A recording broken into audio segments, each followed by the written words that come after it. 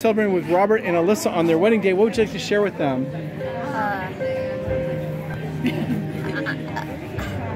congratulations. Okay. Very good. Uh, congrats, guys. Me and Eli are so excited for you, and we can't wait to see what else life holds for you guys. Congratulations. I'm so happy to get to spend this day with y'all. All right. And these are the bridesmaids, right? So, very good. Thank you guys so much.